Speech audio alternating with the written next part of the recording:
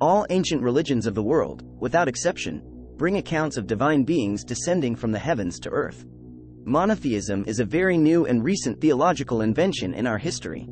It is curious to notice that the cradle of civilization, Sumer, in ancient Mesopotamia, attributes their creation to various gods, and when we apply this perspective to the best-selling and most well-known book in the world, the Bible, we identify not several gods, but a single one. The question is, why? Many people justify this fact by stating that the Bible is the result of divine intervention and inspiration. However, when we observe the facts themselves, we discover that this is not true. To truly understand and study, we need to distance ourselves from religious dogmatism and theological answers we need to observe the facts and let them speak for themselves. If we ask any scholar or expert in ancient civilizations or biblical records, they will tell us that the Bible was influenced by Sumerian literature, especially in the texts of Genesis, such as creation and the flood. It is essential to highlight that Sumerian and Akkadian writings are proven to be older than the writing, compilation, and integration of the Hebrew Bible or the Torah. In this sense, if we want to understand the true contact with the divine that early humans had and the creation story they have to tell, we need to observe more closely the evolution of religious thought from that time. In the entire ancient world, people believed in gods who descended from the heavens and created humanity, guiding, teaching, and protecting humans. By reading the Mesopotamian tablets and the oldest mythologies, we discover the interactions with gods for all daily events. People sought blessings for marriages, the granting of healing and physical well-being, and guidance for cultivating the land and caring for animals. The text suggests a direct relationship between humans and their regional or family gods. Religion held a central place, and nothing was done without divine blessings or approval. The first human civilizations were connected to multiple gods, not a single almighty god. Everything was consecrated. Cultivating the land was an act of veneration to the goddess, hunting was a display of power and virility that earned a man the trust of the divine. Winds and storms were considered divine punishments, and the plants with healing properties were believed to be gifts from the gods to humanity.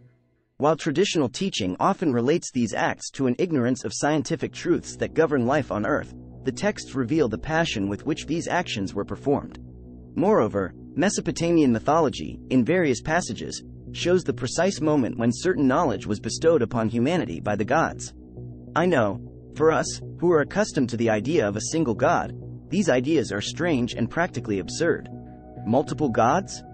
But then, there must be one single God, right? This is a common doubt. Our modern theology is the result of centuries and millennia of faith in a single God. The creation of Yahweh as a single God incorporates two fundamental ideas that of a supreme creator and a supreme protector. This means that Yahweh assumes a dual identity to address two different roles or situations. In the ancient cities, in the ancient world, in the city-states that flourished, each city had its god. These gods were present in the daily lives of the people, either through their physical presence in the ziggurats or through divine emissaries. Various people had contact with these gods, but the primary contact was through the priests and kings responsible for the city-states. Thus, the city's god was revered tangibly, with an authoritative and divine presence. Yahweh, the God of the Bible, assumes this identity. The biblical accounts make his physical presence clear. Another characteristic assumed by Yahweh is that of the Supreme Creator. It seems to be an innate psychological need, given our current ideas when we look at the ancient world. There must be a Creator, and Yahweh assumes this characteristic as the beginning of all principles and the prime cause, the driving force of the entire universe.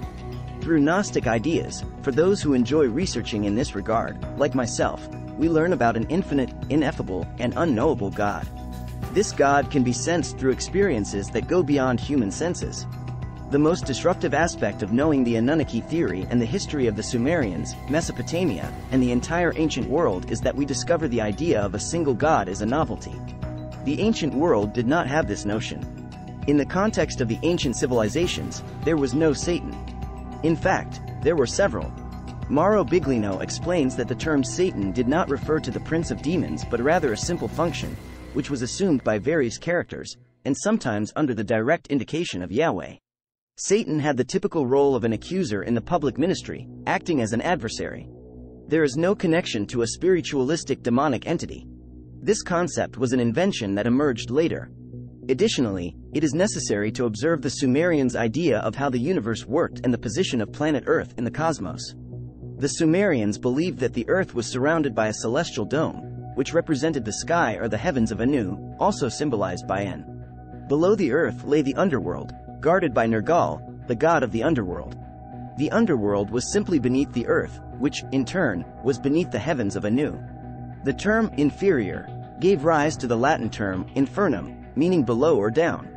From infernum, the term inferno in Portuguese and infierno in Spanish originated, which is equivalent to hell in English. This worldview is also found in Greek mythology.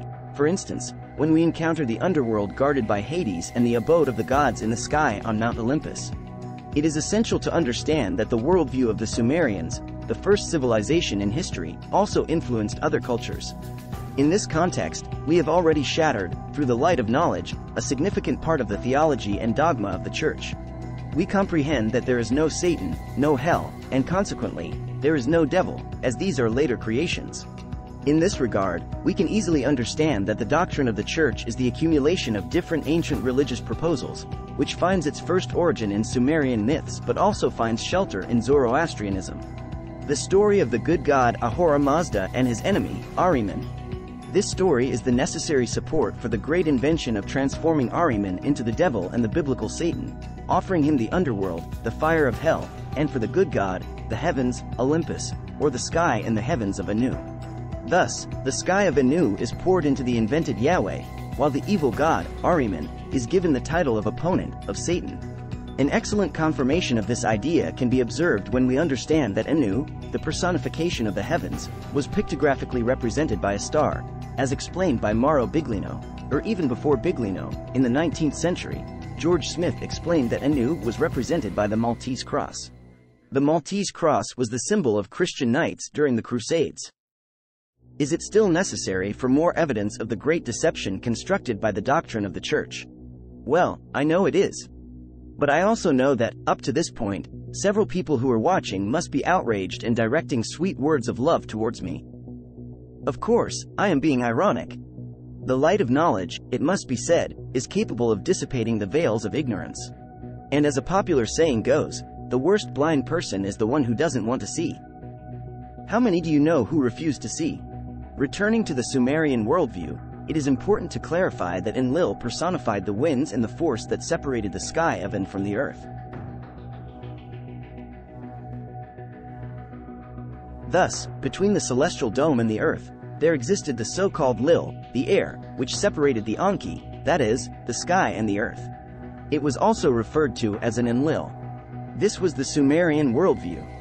In this sense, there was no creator of everything, no single God, no hell, no Satan or Lucifer. Just as there was no Messiah or Savior,